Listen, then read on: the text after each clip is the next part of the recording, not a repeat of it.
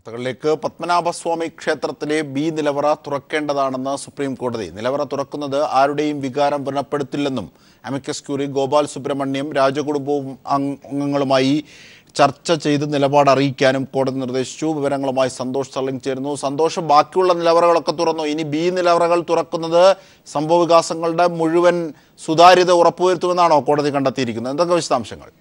തീർച്ചയായും ജിംഷാദ് അങ്ങനെയുള്ള ഒരു നിഗമനത്തിലേക്ക് തന്നെയാണ് സുപ്രീം കോടതി എത്തിയിരിക്കുന്നത്. കാരണം ഇന്ന് ഈ പത്മനാഭസ്വാമി ക്ഷേത്രത്തിന്റെ കേസ് ഏതാണ്ട് സുപ്രീം കോടതിയിൽ പൂർത്തിയായി കഴിഞ്ഞു. ഇന്ന് കേസ് പൂർത്തിയാക്കാം എന്നാണ് ജസ്റ്റിസ് വ്യക്തമാക്കിയത്. അപ്പോഴാണ് രണ്ട് കാര്യങ്ങൾ അമിക്കസ് കുറി ചൂണ്ടിക്കാണിച്ചു. ഒന്ന് ഈ പത്മനാഭസ്വാമി ക്ഷേത്രത്തിന്റെ അധികാരം ആർക്കാണ് എന്ന നിയമ തടസ്സം നിലനിൽക്കുന്നു. മറ്റൊന്ന് ഈ പ്രധാനപ്പെട്ട ഒരു വിഷയം മറ്റെല്ലാ നിലവറകൾ തുറന്നപ്പോഴും ബി നിലവറ തുറക്കാൻ കഴിഞ്ഞിട്ടില്ല. അത് ദുരൂഹതയായി തന്നെ അവശേഷിക്കുന്നു. ബി നിലവറ തുറക്കാത്തത് കൊണ്ട് തന്നെ ക്ഷേത്ര സ്വത്തിന്റെ പൂർണമായ മൂല്യനിർണയം പൂർത്തിയാക്കാൻ കഴിഞ്ഞിട്ടില്ല എന്നായിരുന്നു അമിക്കസ് നിലപാട്. ഇതിന് ഇതിനോട് സുപ്രീം കോടതിയും യോജിച്ചു. ശരിയാണ്. അനാവശ്യ സംശയങ്ങളും ദുരൂഹതകളും നിലനിർത്തുന്നത് എന്തിനാണ്? എന്ത് കാരണമാണ്? എന്ത് വിഷയമാണ്? അല്ലെങ്കിൽ എന്ത് ഗുണമാണ് ഈ ബി നിലവറ തുറക്കാത്തതിലൂടെ ലഭിക്കുന്നതെന്നും സുപ്രീം കോടതി ചോദിച്ചു. അതുകൊണ്ട് തന്നെ നിലവറ തുറക്കാം. അത് നല്ലതാണ് എന്ന് ആവശ്യപ്പെട്ടു. എന്നാൽ അപ്പോൾ അവിടെ ഉണ്ടായിരുന്ന രാജകുടുംബത്തിന്റെ പ്രതിനിധി അഭിഭാഷകൻ ഇത് തടഞ്ഞു. ആചാരപരമായ ചില തടസ്സങ്ങൾ നിലനിൽക്കുന്നുണ്ട് എന്നായിരുന്നു അദ്ദേഹത്തിന്റെ വാദം. അങ്ങനെയെങ്കിൽ അമിക്കസ് ക്യൂറിയോട് രാജകുടുംബാംഗങ്ങളുമായി ചർച്ച ചെയ്ത് നിലപാട് അറിയിക്കാൻ സുപ്രീം കോടതി നിർദ്ദേശം നൽകി. ശരി സന്തോഷ്. സന്തോഷ് സർലിംഗാണ് വിവരങ്ങൾ നൽകിയത്. മറ്റൊരു വാർത്തയിലേക്ക് വേതന വർധനവ് ആവശ്യപ്പെട്ട് സമരം ചെയ്യുന്ന നഴ്സുമാരുടെ പ്രതിനിധികളുമായി സർക്കാർ നടത്തിയ ചർച്ച പൂർത്തിയായി.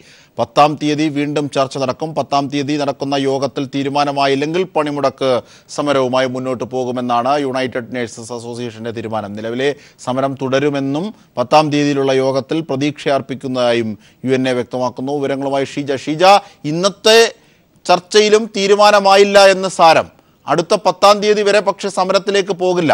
അടുത്ത ചർച്ച വരെ അങ്ങനെയാണോ? അജിംഷാദ് ഇന്നത്തേത് അവരുടെ സമരം അവസാനിപ്പിക്കാൻ വേണ്ടിയുള്ള ഒരു ചർച്ചയായിരുന്നില്ല. മറിച്ച് നഴ്സുമാരുമായി നേരിട്ട് തൊഴിൽ മന്ത്രി ടി പി രാമകൃഷ്ണൻ ചർച്ച നടത്തി. ഇതിൽ എന്തെങ്കിലും സമവായത്തിലേക്ക് കാര്യങ്ങൾ എത്തിക്കാൻ സാധിക്കുമോ എന്നുള്ളൊരു യോഗമായിരുന്നു. പ്രത്യേകിച്ചും അവരുടെ ആവശ്യങ്ങൾ ന്യായമാണ് എന്നൊരു നിലപാട് തന്നെയാണ് സർക്കാരിനും ഈ വിഷയത്തിൽ ഉള്ളത്. ഏതായാലും പത്താം തീയതി നേരത്തെ നിശ്ചയിച്ച പ്രകാരം തന്നെ വ്യവസായ ബന്ധ സമിതി യോഗത്തിന്റെ യോഗം ചേരുന്നുണ്ട്. ആ യോഗത്തിൽ വെച്ചാണ് വേതനവിന്റെ കാര്യത്തിൽ ഒരു അന്തിമ തീരുമാനം കൈക്കൊള്ളേണ്ടത്. മിനിമം വേതന കമ്മിറ്റി ആണ് അത്. അതുകൊണ്ട് തന്നെ അന്നത്തെ യോഗത്തിൽ മാത്രമായിരിക്കും എത്രത്തോളം അവർക്ക് ശമ്പളം വർദ്ധിപ്പിച്ച് നൽകും എന്നൊരു കാര്യത്തിൽ അന്തിമ തീരുമാനം ഉണ്ടാവുക.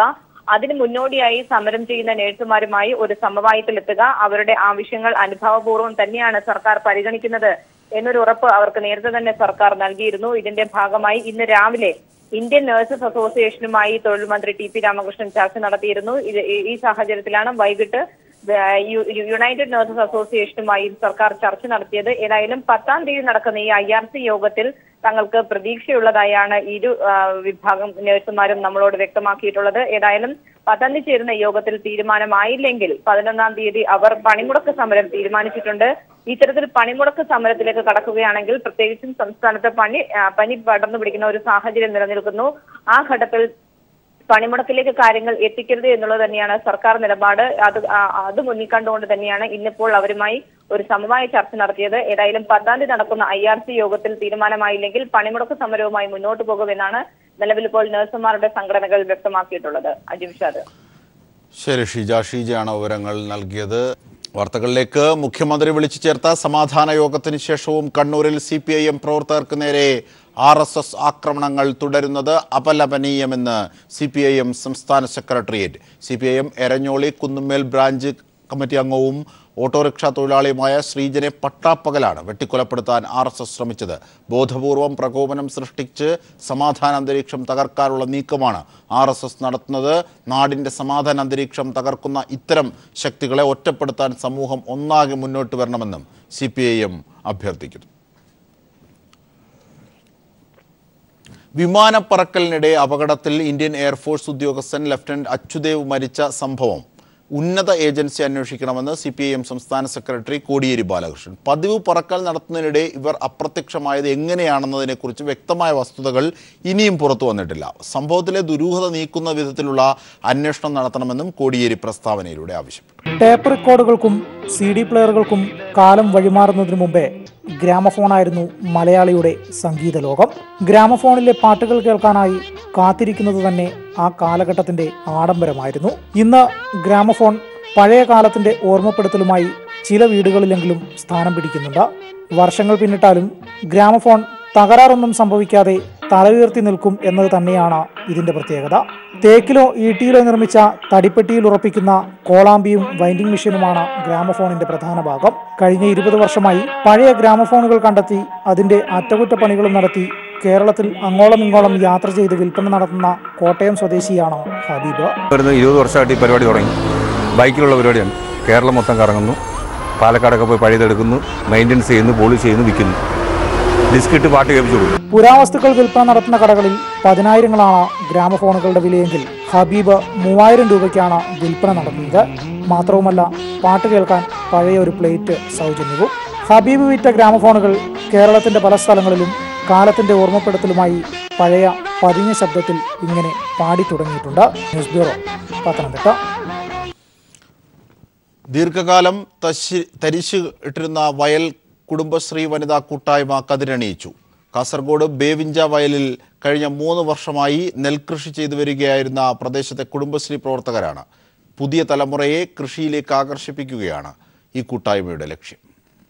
വർഷങ്ങളോളം തരിച്ചിട്ടിരുന്ന കാസർഗോഡ് ചെങ്കള ബേവിഞ്ചയിലെ വയലുകൾ കഴിഞ്ഞ രണ്ടു വർഷമായി വിളഭൂമിയായി മാറി. ചന്ദ്രഗിരി പുഴയോരത്തെ ഈ വയലുകളിൽ നെൽകൃഷി ചെയ്യുന്നത് കുടുംബശ്രീ പ്രവർത്തകരാണ്.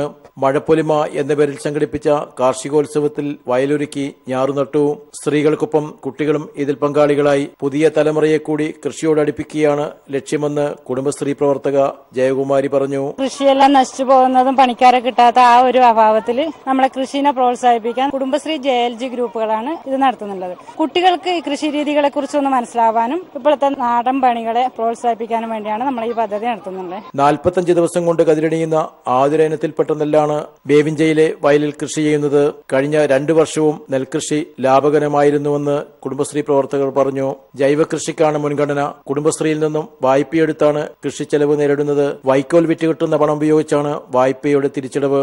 കൃഷിയിലുള്ള ഈ കൂട്ടായ്മ മുന്നോട്ട് കൊണ്ടുപോകാനാണ് കുടുംബശ്രീ പ്രവർത്തകരുടെ തീരുമാനം. News bureau Kasaragod.